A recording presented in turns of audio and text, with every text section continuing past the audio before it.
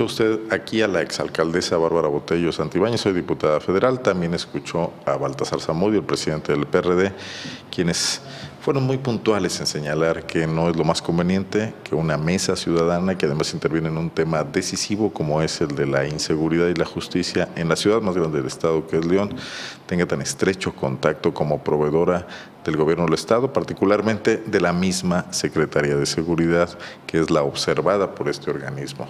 Sin embargo, otras posturas difieren. Casualmente son las posturas de quienes acompañan a Rocío Naveja en esa mesa ciudadana y de la propia funcionaria universitaria. Para actualizarnos sobre esta polémica está mi compañera Carmen Martínez, quien ha traído desde el principio claro cómo se ha desarrollado este tema. Carmen, ¿cómo estás? Hola, ¿qué tal Arnoldo? Buenas tardes. Pues bien, ya con reacciones sobre esta nota, eh, ayer estuvimos buscando a Rocío Naveja, también al presidente del Observatorio Ciudadano de León para que nos dieran eh, su opinión sobre esta publicación que hizo Zona Franca sobre los contratos que recibió Rocío Naveja durante 2013 y 2014 de parte de la Secretaría de Seguridad Pública que ascienden casi a los 8 millones de pesos por capacitaciones. Y bueno, hoy la reacción fue una rueda de prensa en conjunto. Eh, primero nada más citaba a Rocío Naveja y bueno, al llegar nos sorprendió ver a Luis Alberto Ramos, también estuvo eh, eh, Gustavo Burayev, quien es presidente del Consejo Coordinador Empresarial, y Andrés Govela, que es rector de la Universidad La Salle y bueno, también es integrante de esta Mesa Ciudadana de Seguridad y Justicia. Ellos estuvieron eh, respaldando a Rocío Naveja, quien primero, bueno, aclaró que efectivamente que ella era proveedora del gobierno del Estado, pero que esta decisión ya ella lo había comunicado desde que fue considerada como eh, candidata a ser presidenta de la Mesa Ciudadana de Seguridad y Justicia. Es decir, ella les dijo a, los presidentes del Observatorio Ciudadano de León y del Consejo Coordinador Empresarial cuál era su relación o su vínculo con el gobierno del Estado y aún así decidieron apoyarla. El último contrato que firmó Rocío Naveja, que ella lo especifica, con la Secretaría de Seguridad Pública finalizó solamente unas semanas antes de que ella eh, asumiera el cargo como presidenta de la Mesa Ciudadana de Seguridad y Justicia. Y bueno, aún así esto fue avalado. Ella dice que no tiene conflicto de intereses porque desde que asumió este cargo ya no ha hecho ningún otro contrato con el gobierno del Estado. Entonces, que eso elimina el conflicto de intereses y por tal razón no va a dejar este cargo. Ella considera que no hay eh, elementos. Un cargo que además es honorario, ¿no? Un cargo honorario, sí, claro. Digo, y además los organismos ciudadanos pues, han sido un gran invento en los últimos años para tratar de construir un poco de sociedad civil en un país que era avasallado por las instituciones gubernamentales. Un poco lo que queda en cuestión y en duda es si estos organismos ciudadanos con vínculos tan pues, de tal magnitud, porque me imagino que contratos por 8 millones de pesos en poco más de dos años son una parte muy importante de la facturación que debe hacer la Universidad Humana y Mundial, más allá de sus colegiaturas y otras cosas. Si estos pueden representar debidamente a los ciudadanos, Carmen, y yo te preguntaría, ella hizo del conocimiento de sus compañeros miembros de la mesa, que por cierto los vemos ahí en una actitud así, no se ven muy gallardos, ambos están, están con la mirada baja, tanto Gustavo Gurayev como Luis Alberto Ramos, pero no lo hizo del conocimiento de todos los ciudadanos a los cuales esta mesa busca, pretende eh, representar. Ella dijo hoy que lo había hecho del conocimiento público y que lo había dicho el día que asumió eh, la titularidad de la mesa. Yo estuve ahí, me estuvimos comentando a través de redes sociales varios compañeros que también este, estamos dándole seguimiento al tema y que estuvimos ese día, nadie escuchó, a lo mejor a uno como reportero, como periodista se le podría ir una declaración así, sí, en un momento de distracción, pero a todos, eso es lo que me parece raro, ¿no? Además, dijo que ella lo había dicho, pero sin un sustento, no mostró ninguna grabación, ningún audio, ningún, ningún elemento con el que ella soportara este hecho de haber de señalar que lo había dicho públicamente. Si te parece, vamos a escuchar el fragmento exactamente qué fue Esto fue hoy en la mañana.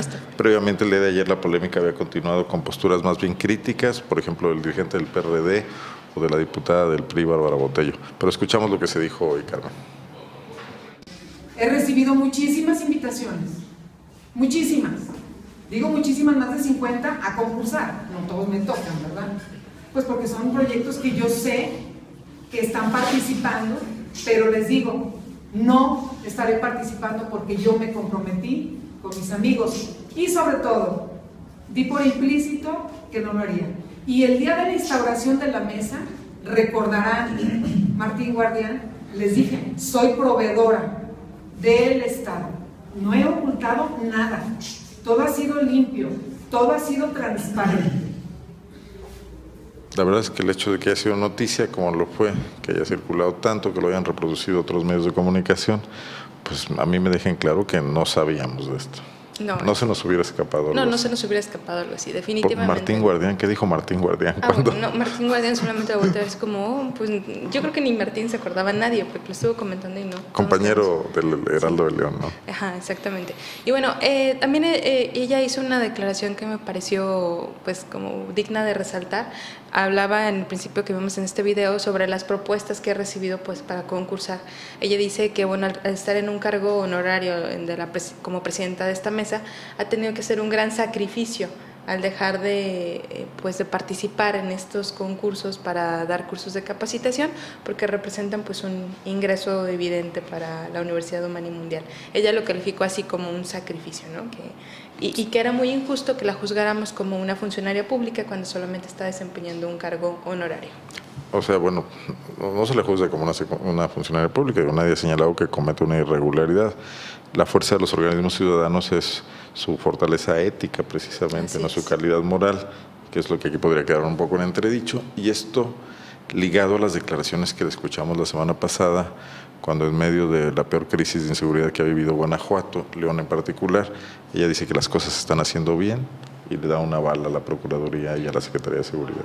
Hoy lo reitera, dice que ella citó a fuentes nacionales para dar esta declaración y además eh, no quiso opinar de, sobre las vacaciones que tomó el alcalde Héctor López Santillana y en general sobre la situación de seguridad. Unos minutos antes ella acababa de decir que iba a ser muy crítica cuando se necesitara ser crítico y después pues señaló que era irrelevante, así lo dijo ella, irrelevante hablar sobre las vacaciones del alcalde Héctor López Santillana porque nos estaremos desviando como del tema principal para lo cual fue convocada la rueda de prensa.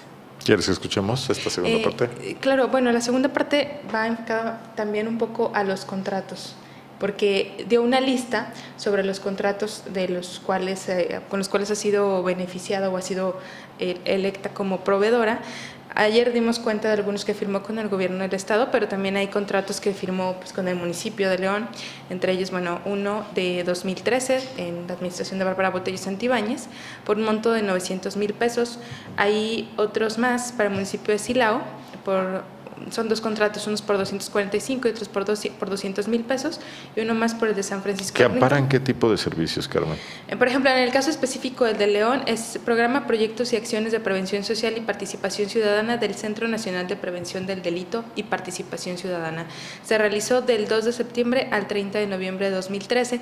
Estos son programas en los que ella no quiso ser no quiso ahondar mucho en los detalles sobre qué se hacía con cada uno de estos programas. Yo le pregunté, pero dijo los que los detalles venían en la hojita que nos dieron al terminar la rueda de prensa. Yo pensaba ver Podemos mostrar esta hojita para. Esta hojita que nos dieron, que Vamos a... son los contratos. Esto fue con lo que hoy se explicó. Sí, eh. son los contratos, aquí vienen desglosados. Este es, viene por el municipio de León, dos de Silao, uno de San Francisco. Y, este, y bueno, ahí están los contratos. Esta es la hojita que ella dio, ella había explicado que venían como un desglose sobre las acciones, solamente lo vemos en el parte del Estado donde dice que se aplicaron en ciertas colonias.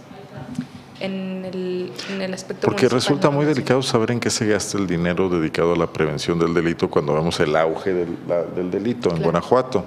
Son fondos que seguramente bajan de los subsidios federales para la seguridad y bueno, lo, que preocupa es que no se repartan en contratos entre cuates para justificar el gasto, como ya hemos visto que pasa con los diputados federales, sino que en, realidad impacten en, en, lo que ocurre en nuestras ciudades, ¿no? Sí, ella también aclaró que no habían sido licitaciones, asignaciones directas, que ella entraba en un concurso, pero no sabía con cuántas personas más eh, estaba concursando porque esta, esta información no se la daban. Debe haber récords de eso, digo, los investigaremos y si tienen razón, ningún trabajo nos cuesta reconocerlo. Claro que sí. te, quiero comentar, Carmen, que, eh, bueno, yo, yo quería saber, te pedí que lo preguntaras en la rueda de prensa, lo hiciste. Hace un momento hablé con, con eh, Luis Alberto Ramos, presidente del Observatorio Ciudadano de León. ¿Qué tipo de certificaciones tiene la Universidad de Humani para dar este tipo de cursos? Porque es muy distinto eh, impartir materias, estar calificado para eh, otorgar títulos profesionales a, quienes estudian en tus aulas, a dar cursos en materias específicas como prevención del delito. ¿no? Creo que debe haber algún tipo de certificación y estaría muy mal si no lo pidiera la Secretaría de Seguridad. Y eso no nos lo dijeron ni viene en las hojas que te dieron. Eh, bueno, sí, eh, la maestra Rocío Naveja tiene a bien, y aquí lo hacemos públicamente, eh, abriríamos un espacio, por supuesto, como lo hemos hecho otras veces, para que nos platique de esto. ¿no? Claro, ella solamente dijo que venía la información en estas hojitas y dijo que, bueno, los 11 años que tiene la universidad ha ido acumulando una serie de reconocimientos nacionales, que ha habido personalidades nacionales e internacionales que han acudido a la universidad a impartir conferencias y cursos, pero bueno, esto no es un aval de que dentro de la universidad haya especialistas, ¿no? Solamente habla 11 años en materia de instituciones de educación superior, yo te diría que es poco tiempo. Sí, poco tiempo, realmente. Y bueno, hay otras, como ayer lo comentábamos, otras, otras universidades que tienen también carreras de criminología y no, no las vamos recibiendo este tipo de, de contratos. Y si parece, vamos a escuchar un otro fragmento de lo que habló Rocío sobre estos contratos de los cuales recibió. Muy bien. Estos proyectos, quiero subrayar que fueron otorgados en 2013 por autoridades municipales de Silao, Guanajuato. Tengo los oficios donde los firma el presidente municipal tengo contratos firmados por el presidente municipal de San Francisco de, del Rincón y tengo contratos firmados por la presidenta municipal de León, Guanajuato. Y también tengo proyectos firmados por gobierno del Estado. son tres alcaldes que en su momento eran del PRI, Silao, San Francisco del Rincón y León. Por cierto, el de Silao actualmente preso. Por el delito de, ser el autor intelectual, presunto autor intelectual del, ataque a una periodista. Debió haber ido a uno de los cursos de prevención del delito. y, también mandar a, sus ayudantes, ¿no? porque bueno, justamente las personas relacionadas con cuestión de seguridad fueron, están involucradas en este caso. Muy bien, habría que evaluar cómo resultan estos cursos, qué, qué se obtiene después de ellos, porque llenar una aula de gentes y eh, presentarles un PowerPoint o darles un una capacitación superficial no te garantiza que eso impacte en la realidad. Habría que ver qué pasó en esas colonias, si algún tipo de índices cambiaron, se modificaron y disminuyeron o si empeoraron.